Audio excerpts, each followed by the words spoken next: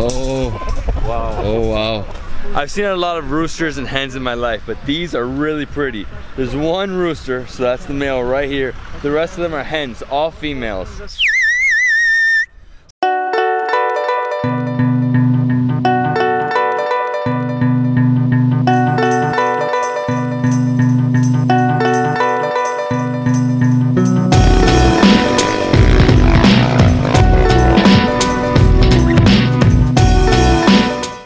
Everyone, this is David Hoffmann from David's Been here coming at you on a cold Sunday morning in Llabjan, Kosovo. This is like a small village right outside of Gjilan and today what I'm going to show you is this market which is like a live produce market. You got goats, lambs, you have chickens, turkeys, I mean non-stop produce here and then after this we're going to go to a castle, a really famous castle about 20 minute drive from here and then from there we're going to another city called Fierza. Woo! It is freezing. Sunday market only, oh sorry, this car is coming, so only for domestic animals, villagers selling their products. So this happens every Sunday here in the in intersection going from uh, from Gjilan to Novo Brdo, where is the castle. So here we have a lot of chickens, goats, sheep, uh, domestic like uh, animals, cows over there, and except this we have a lot of vegetables like villagers coming here to sell their products.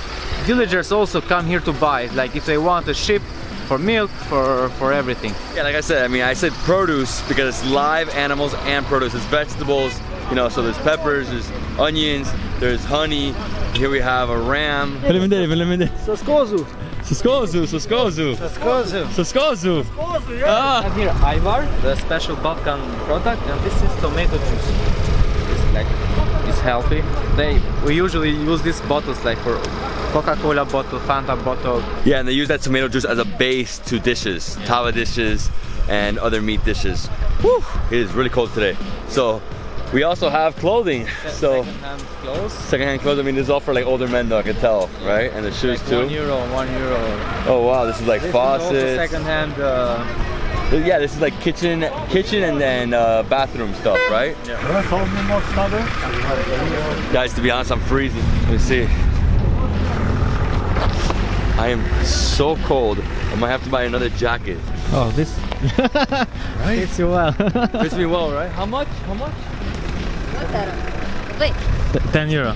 10 euro for this? Yeah. I don't know, man. I mean, I have a jacket in the car, but this is nice.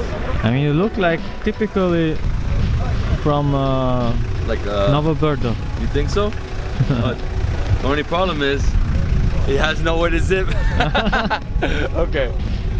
Oh man, it is freezing this morning. So, right here, you know, a mix of obviously secondhand clothes, but then when you keep walking, you have other, you know, antiques, secondhand drills. What else we have? This is all like mechanic stuff, right? Mm-hmm. So this is like a jack, right? Here we have a saw. This is, I think this is a saw, a different type of saw. And then over here we have basically like pumpkin, right? Yep, pumpkin. pumpkin, we have grapes, more ajvar, just non-stop stuff. I mean, I want to see the animals. Where are the animals at? This is the market that used to be like many, many years ago, but these people they still keeping the same style, you know.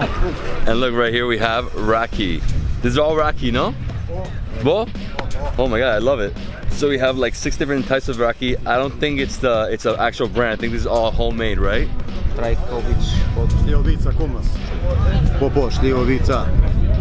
So now you know when you come to this market, come to my friend here. He has like 18 different Rakis. The honey is not Raki. Sorry, the, the honey jars are not honey, they're Raki. Amazing. Filimenderi, Filimenderi, Filimenderi. Awesome. And over there, we actually have some guy killing the chickens for one euro. Crazy, I can't even watch it. David, so we have some typical uh, village eggs. So we can see it is from village because it's still dirty, like directly from the. Poop, from the Hello, hello, hello. Hello. What do you have here? Osmone, Osmone, Osmone. Ola, kan du lese ball med? Jeli Iksan. Iksan Jeli. He said he- the, his chickens they make two eggs in, in one time. it's amazing. Look at these chickens. I mean, these are massive. Beautiful. Beautiful. Yeah. What are they? Gjeli zi, i këtën pulë, thime edhe bën zogën si shor gjeli. Nuk ngjarë ka pula hiç, ngjarë ka baba. When they make love, the chicken and uh, turkey, the turkey make his babies like the turkey. The, I mean, the chicken make his baby like a turkey. Oh. Wow. Oh wow. Beautiful. There's a hen. I've seen a lot of roosters and hens in my life, but these are really pretty. There's one rooster, so that's the male right here. The rest of them are hens, all females. Really beautiful, my friend. Is it a, hey, is it a type of chicken, like a different type? I've never seen it like this. So big, it's like a turkey. It's like big. I love it. I, I'm going to take some in my farm.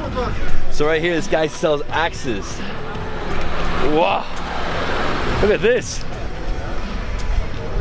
Different type of chicken with a nice hair. they had a haircut. It's black with like white spots. Very different.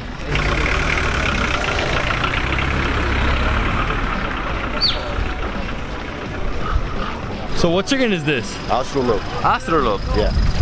So what's astrolog? Just a different type? Yeah, different type of chicken. It's Wow. different, depends on breed, but very beautiful. All the chickens here very beautiful. Yeah, very different. I mean, this is black, but it also has like some green. The black, they have a like kind of brown, and they have a s- splashy with white with the with the black dots. Yeah. I mean, it has a little bit of greenish, right? Greenish, like aqua there. These are some ducks, but different kind of color. It's very beautiful. They're very small. I think they are three month ducks. This guy wants me to pay to take a photo? No, no. Come on, man. Chicken, and this chicken is so small, so cute. So we got ducks, we have small chickens, we have this beautiful white turkey, really, really big turkey, and then we have more ducks. I mean, this is sort of what we're gonna see non-stop. And in front of us, we have a guy with like, what is this? More chickens? Just more and more chickens? Look at this huge truck full of chickens. I mean, they're overcrowded, but the good thing is that these go straight to farms right away or to restaurants. As you keep walking, you see sort of the same, just non-stop the same. But here we also have big turkeys, like giant turkeys. These are the type we have in America, very similar. And you have just more chickens, more ducks. Hello, hello.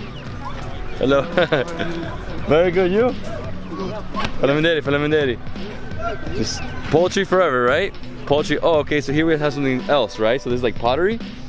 So here we have some tava plates, small, big. We also have that for the raki. Oh, that's perfect. Oh, look at this. See eh, here. Sa bën të tavë të mëdha? Që kjo është tragota. 30 euros. Perfect for chicken with uh, rice. So Erjan, I, I love everything. This one is for water, right? How beautiful, eight euros. But all, you know, pottery, handmade. These are really nice. These are just bowls, right? You eat out of this? Oh, for soup, this one? Okay. Sorry, it's confusing sometimes because you have the tavas and you have different sized tavas and you have different sized bowls and plates. And then here he has some belts. I don't know, want anything? Wow, I like it all. And it's all from here. Yeah. How much? Sa po kjo? Ti të tërë. It's nice, but too big. Can you get it in a plane? 20 euros for this big jar for water. I don't know, I mean, it's super nice. It's gonna be hard. It, it- it's heavy, right? I'm seeing a, another pottery man selling like, but I see the potteries here are with uh, some cups. My friends, I come to you next. I come next over there. So here we have pottery, non-stop pottery, all tavas. Hello. A ja pesmine. Me gjithë ka pak, jo? This is nice. Kjo është interesante. You like anything? Po ju më qash, ma dragi? Po. Sa kushton? Which is this one? Beautiful. Perfekto, perfekto. Perfecto. Oh. I personally like this one. Like this one's awesome right here. This is another water one. No? Acqua. Sì, acqua. Va bene, questo è buono, buono. E tu lo fai? Tu lo fai? Tu lo fai? Tutto questo? Sì? So he's the one who makes it all. Wow, really nice. Quanto queste? Quante? Euro. Euro. Eight. Oh, oh, eight euros for that water. Hey, let me see. Let's see what Erjan. Erjan's gonna buy something. I'm probably gonna buy that water one. That looks awesome. I like the plates too, man. This is like so beautiful. So beautiful. Eight. Eight for this one too? Eight. Eight. 10. 10, 10, 12. Wow, wow, wow. This is. Ah, pesa molto. Ma sì, ah, So this is what we're doing. I'm taking this for my wife. Look, I love it. Serving. We're taking six of these small ones for the turtle farm, and then we're also taking. You're taking another thing, right? Uh, you're taking that right there. that one. So that's a big pot. You put the chicken, the village chicken with the rice. smells good so To the big one. this is better. It's like more rice for a big table of six or maybe ten, like full this with rice, chicken on top.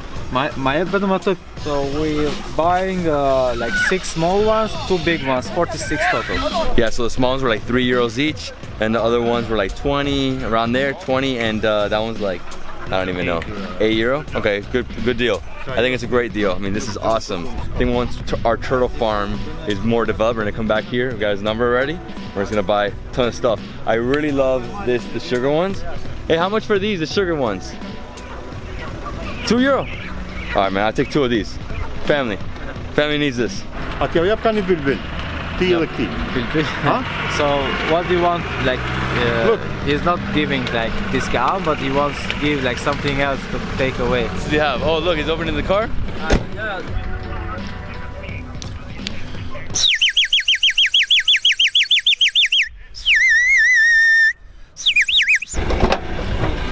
Okay. Stop even windows first. Shane, kom, kom. So the total price was 50 euros. He didn't give us a discount, but he gave us two extra little potteries for some sauce for the farm. So 50 euros, my friend. Thank you. Palimanderi, Thank you. Palimanderi. Thank you. Buy from him. Amazing. Falenderi så, falenderi. Amazing. Hajde, Falenderi. kom, hajde, kom, kom, kom. So thank you very much. Thank you You're the much. man, you're the man. I love his stuff. Thank you. Come here, buy everything. Palimanderi, Palimanderi. I'm so happy. That was awesome. Yeah, that was a very very beautiful, interesting experience. The only thing I didn't like is the man who killed the chickens like like a ninja. I mean, they have to have somebody like that here because Yeah. once you buy it, you're gonna take it home to eat. You gotta, you know, have somebody. Yeah, yeah, you can do it. Most of people suffer like if you want to buy a fresh chicken, but the problem is, is who's going to kill the chicken. So there is in this market there is two men. They do this job for one euro. So you give them one euro and they give the the chicken to you ready to cook. So now we're going to Novo Brdo Castle. So David over there, from here we can see the castle, Novo Brdo Castle built during the 13th century. So that area was very famous because that area was full of gold and silver and that castle was built for that reason to keep the gold safe inside the castle gold and silver they always collecting gold from cities around and they keep it safe here So this castle is basically just ruins, right? There's nothing inside. It's not a living castle. There's no restaurants, no souvenir shops, nothing, right? Uh, there are some restaurants outside of the castle and a bar if I remember so but inside the castle nothing yeah we have to hike up there it's like three minutes walk and uh, then we'll see the walls surrounding this So we have to hike about five minutes up this rocky path, and there's a castle. I mean, obviously all ruins. On the base, you have a few different cafes and restaurants. Wow, beautiful, huge castle, huh? so it's uh, 13 meters high and what is special about this castle is this has a visual view with two more castles so in case enemies were coming to take the gold from this castle they they could have seen from these two And as you can see, the castle was built on this huge rock, huge boulders. It's like massive cliffs, right? Overlooking the whole area. I can't even believe how big these boulders are. I mean, I haven't seen rocks like this in a long time. Oh wow! And over there, we have the ruins of something. Looks like a mosque. Hey, is that a ruins of a mosque or what is that? They're renovating this side of the castle. Lots of rocks, lots of concrete, fixing it all up. This is all renovated already over here on this side. But what's really interesting are the corners of the castle are these red bricks. So this is the old piece of the castle. Really beautiful. Where'd you go? How did you even get up here? It's like a maze. The entrance is closed but you can see from the main door This castle is actually very easy to visit, right? So you come, you walk around, You see the castle, the walls, huge, massive walls. Like you said, 13 meters high. It's currently under renovations. On this side and the other side, you can see it's like the rocks and the, the wall has basically fallen apart. So they're fixing it. You also see cracks in certain pieces of the wall, but the views are stunning. Look at these views, incredible. And Erjan just went down here because there's uh, some ancient ruins here. I don't know exactly what it is. Gotta be careful though because it's all rocks. This entire trail is a rocky trail. How did they get up here in the 13th century, dude? For every castle the most important thing was to have water supply inside. And over here we have five wells not one but five so and one of these have still water inside. This makes this castle like it's still living castle. Yeah and from here you probably get the best photos of the castle with the ruins. And i'm guessing this area was housing right? Must have been housing because there's like still the foundations of some houses here. Little path right? So there's the path. People would walk here pull out the water and go to their house. Wow, so beautiful. Yeah, it's nice. I mean, the view from here, you can see everywhere 360 degrees. You can see all over the mountains of Kosovo. So for that reason, it is built in, the, in this hill. So as I mentioned before, you can see there are two more castles and they can fire up. But where are those castles, do you know? They're ruins. They're probably gone by now, right? I mean, this is the best one. Like we can go nearby to but they are ruined now. Drive is one hour to Ferizaj. Ferizaj, what's that? It's another small town of Kosovo, beautiful one. I mean, they definitely built this castle at one of the best vantage points in the area. I think that hill's a little higher, but everything else is below us. So if there's a castle there, castle there, castle over there, everybody can notify if anybody, any invaders are coming. And that's how it was throughout all of Europe. You know, I'm from Italy. In Umbria, there's some towers, like watchtowers, but there's like a hundred in a row. You know, every hill has one. So one fire, another fire, another fire, yeah. almost like Game of Thrones, right? Yeah, exactly. So it was like they had to make a plan, like in case the enemy comes, how to inform people. So that was the easiest way. As you can see, the area around Gjilan is a huge farming community. Yeah. Yeah, cows, goats, sheep, everywhere. Literally on this strip, on this street, it's left and right, just farm after farm after farms. We have small chicken farms and you see like a hundred cows in a row. I mean, really amazing stuff. And right now we're about to make a right and take a, a highway or, you know, a back yeah, road. National road, yeah. A national road that takes us straight down to Friza. Feriza. Feriza, Feriza. Can't wait. Another place here in Kosovo, and that is South Kosovo. That's considered South. Yes, South. Yeah. Northeast. Because here is east completely. Yeah. This is like really close to the border with Serbia, also Macedonia, a little more to the to south. But we're gonna go even more south, and it's literally directly south of Pristina, right? Exactly, yeah. Forest left and right side. We are driving like we are flying over the forest. Not one car. We've been driving for like 15 minutes, not one car. And this is really amazing. This is a back road, national back road. I have to open this man to smell air, fresh air. Ah, yeah, it really is nice. I mean, the forest, look at this, beautiful. Entering winter, obviously, everything. What happened there? Oh my God, I think a car just like skidded off the road. it just handbrakes up. and here we're entering Feriza. Beautiful, another small town, right? Another small town, exactly. Just next to Pristina, so it's half an hour from Pristina, but because we took another back road, it took a little longer, yeah. yeah. And then it's also really close to the border of Macedonia, only about a 20 minute drive from here. You can easily get to the capital of Macedonia, Skopje, in about an hour, maybe less. I mean, it looks like really, really close to the map. And yeah, guys, I mean, I hope you enjoyed the day. We started off at a livestock market, really incredible place. You can buy everything there from raki to honey to clothing. You got, you know, stuff for cars, uh, gardening work, uh, yeah. equipment, and pottery. Pottery was our favorite part. Obviously, we bought some stuff. I got a big tava for myself. I also got a few things of sugar. Casserole, casserole. The casserole, yeah. casserole. And you got uh, like six tavas for the farm. Yeah. Really amazing stuff. I mean, super affordable. We only spent 50 euros on so much. That guy's wearing Gillette. Pretty awesome. and uh, and then after that, we saw an amazing castle. The one castle you have to see in the area is that one. There's multiple castles there, but this is the, I guess the the best, the most the most preserved. Yeah, the most preserved in that area. Artana Castle or Nova Berta Castle. Nova Berta Castle. And then from there, we drove about an hour, hour and 20 minutes to Fierza. Uh, Firenze. Firenze. We're gonna spend here about 24 hours. Uh, tomorrow I leave. But yeah, so today we're gonna explore. We're gonna see this place is about. We're gonna eat some food. I'm very excited. Well guys, I hope you love this video. If you did, give me a thumbs up. Comment below, subscribe to my channel for more awesome travel content. See the next travel food adventure in Frie- Firenze. Firenze. Firenze. My God, I can't pronounce it.